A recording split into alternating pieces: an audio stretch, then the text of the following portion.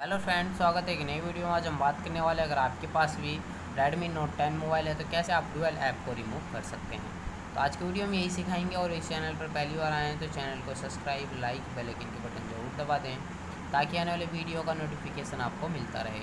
और किसी भी फ़ोन से रिलेटेड कोई जानकारी चाहिए व्हाट्सअप से रिलेटेड इंस्टाग्राम से रिलेटेड की फ़ोन से रिलेटेड गेम से रिलेटेड कोई भी जानकारी चाहिए तो आप हमें कमेंट्स करके बता सकते हैं, नहीं तो आपको वीडियो के डिस्क्रिप्शन में लिंक मिल जाएगा, आप वहाँ से भी प्रॉब्लम को सॉल्व कर सकते हैं। तो आपको बैक चले जाना, आपको ऊपर की तरफ़ स्क्रॉल कर लेना है। स्क्रॉल करने के बाद जो है आपको सेटिंग्स पर कर देना है क्लिक। क्लिक करने के बाद आपको ऐसा इंटरफेस देखने को मिल जाएगा। आपको ऊपर की तरफ़ स्क्रॉल कर लेना है। स्क्रॉल करने के बाद आपको ऐप्स पर कर देना है क्लिक। उसके बाद आपको ऐसा इंटरफेस देखने को मिल जाएगा आपको थर्ड नंबर पर क्लिक कर देना है और उसके बाद आपको यहाँ पर देखने को मिल जाएगा, ठीक राइट साइड में स्विच है, जिस जिस ऐप को डुअल इनेबल कर रखा है, आपको इस पर क्लिक करके ऑफ़ कर लेना है ओके कर देना है। क्लिक करना है ओके कर देना है। तो आप इसी तरह से डुअल ऐप को रिमूव कर सकते हैं।